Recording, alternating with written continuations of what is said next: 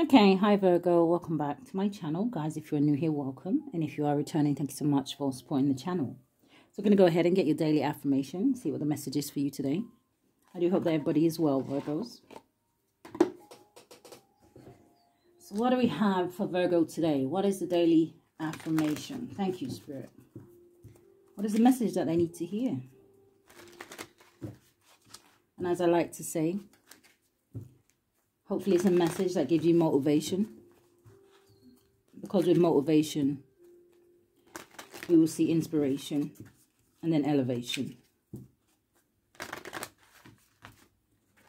So what does Virgo need to know? Thank you, Spirit.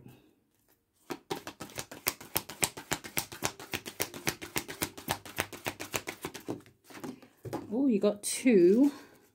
If I can find the other one.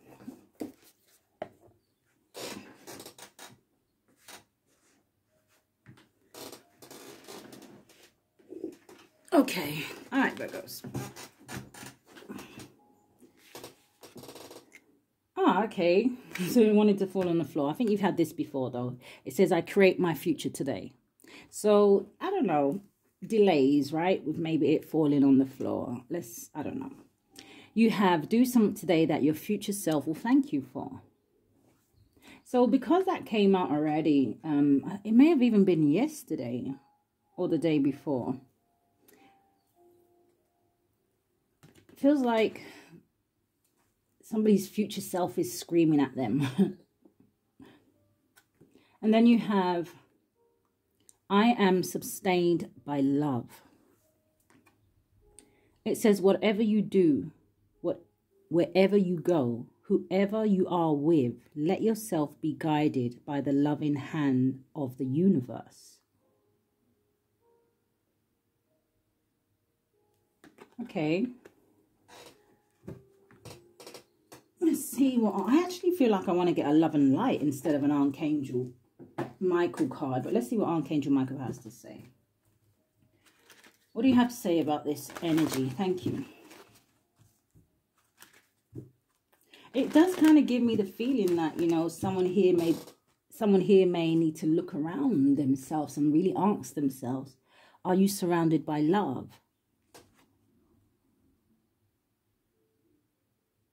In whatever you do, in like whoever you're around.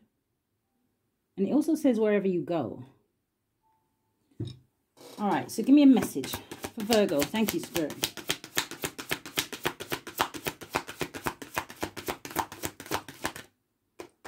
Getting stuck. Regain your focus.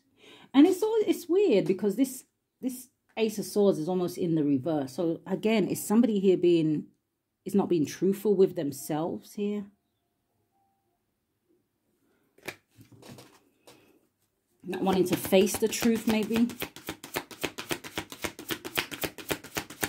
Thank you, Archangel Michael. Oh, and you got two of these as well. Okay.